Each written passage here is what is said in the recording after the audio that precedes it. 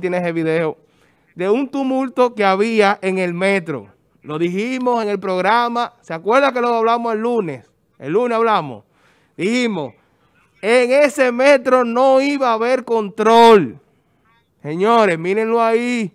Yo sabía que eso, yo supongo que hoy no puede meter la pata de nuevo. Miren, miren, miren, miren, miren. Ahí tú no coges, tú coges hasta todo tipo de virus. Ahí tú coges el virus que no se ha inventado en esta vida.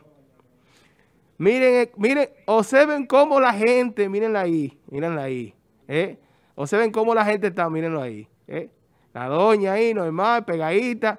Hay personas que ni mascarilla tienen. ¿eh?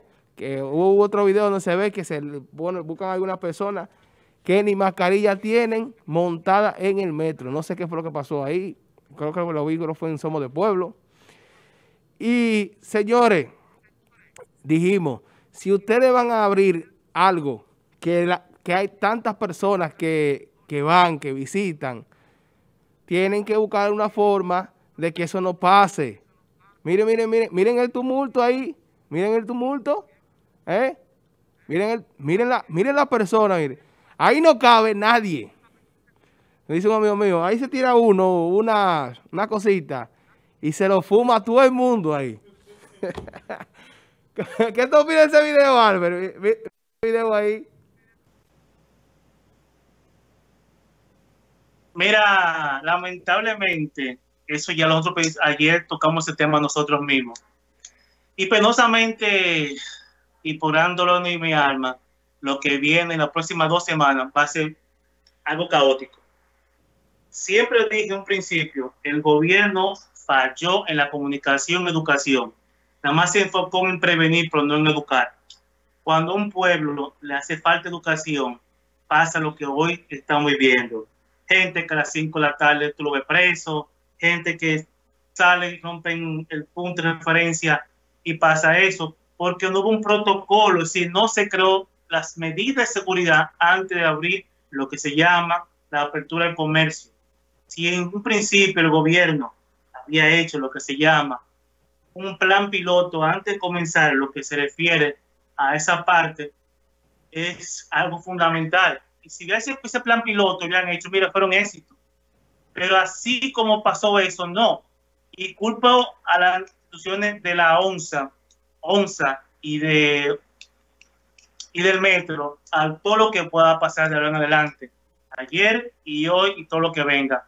Criticamos a Puerto Plata cuando el peregrino hizo lo que hizo, pero dime tú ahora, con toda esta, esta barrabasada, indolencia que hicieron muchas personas, lleno, lleno, lleno, lleno, lleno el metro. No, no, debieron las instituciones mismas, sí, solamente van en cada vagón, van a ir 25 personas y hay una división de un metro. Y si la fila es larga, olvídese, hay que hacer la fila larguísima para que puedan entrar, pero la fila larga en punto de referencia a dos metros con raya amarilla. No se hizo eso. Fue a con puño, monte todo y ve lo que pasó. Ah, ¿Tú te acuerdas cuando estaba en Puerto Plata?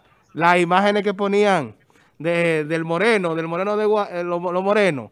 Ahí va a llegar imágenes de los morenos eh, todos los días, eh, todos los días. Luego de ver eso, ver en la onza con guante blanco, como le pasaban por ahí. Usted viene y pasa aquí por la, por la, por, la mesa de Telenor y usted va a ver la mano limpiecita, limpiecita, porque aquí se desinfecta todo. ¿Y cómo es posible que en el metro gente pasaron la mano, guante blanco, y se veía negrecito, negrecito la mano ahí.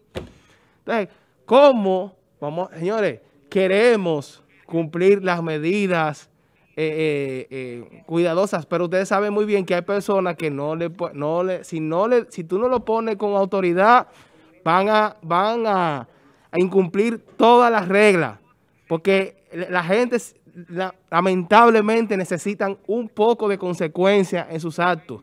Si tú no le aplicas autoridad, a la, yo vi a alguien que dijo que fue con mi amigo y mi hermano, Fuego a la Lata, puso que la gente tiene que poner su parte. Sí, la gente pone su parte, pero que si tú no lo controlas con, con autoridad, tú no vas a poder nunca, eh, eh, eh, si tú no lo pones, no, no le aplicas la autoridad, tú nunca vas a poder controlarlo. Porque la gente trabaja de manera emocional la vida. dice, bueno, si yo no me voy a quedar en este metro, yo no voy a ir tarde a mi trabajo. Entonces, ese tipo de cosas que pasó en ese metro, yo espero, yo espero eh, que eso no se siga repitiendo, porque si esto sigue, si eso sigue así, vamos a terminar, ¿tú sabes cuándo? En, todavía en marzo del año pasado, del año que viene, vamos a estar contando eh, infectados todavía, vamos a estar todavía, el ministro.